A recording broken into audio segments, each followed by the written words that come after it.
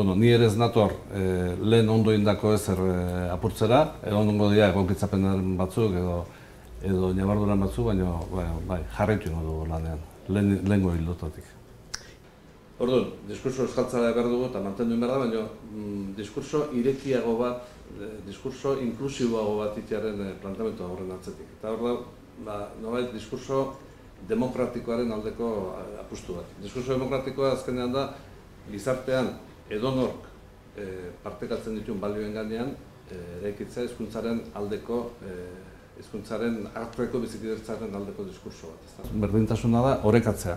Eta hori orekatzeko kontua da, ba, Gipuzkoako erakunde gimerutela e, apustu sendo bat, erakunde eragileek eta bar, e, euskerak eukidetzen berezko esparru batzuk oso bereak izango direnak, eta e, esparruetatik eragina eta prestigio eman euskerari. E, baleabide asko jarri euskeraren kontra, hain justiziazkoa da baleabide asko jartzea euskararen alde.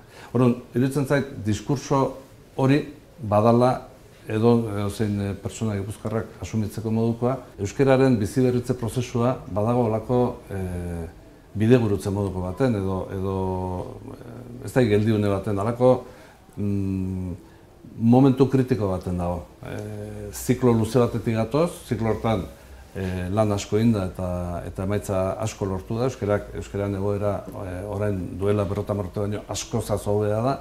Baina aldi berean ematen du sabai batzuk edo, edo jomuga batzuk e, iritsi e, erdietsi ditugula.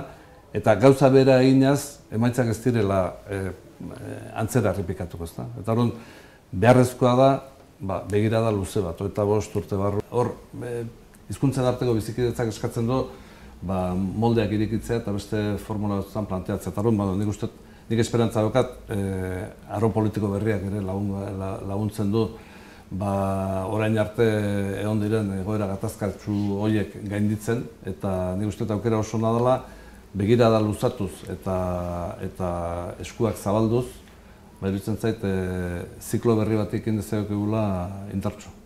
Baina, e, adibidez, ulermenaren kontua, bada modu bat, e, Euskaldunok euskeraz gehiago indezagun.